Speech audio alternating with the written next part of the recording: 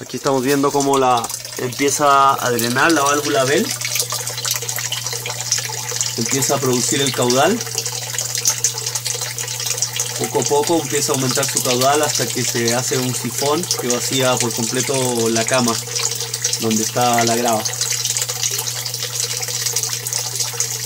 Se demora un poco en arrancar, pero una vez que el caudal es suficiente,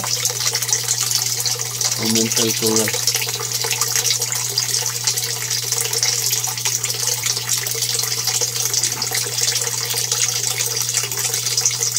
Ahí está aumentando el caudal.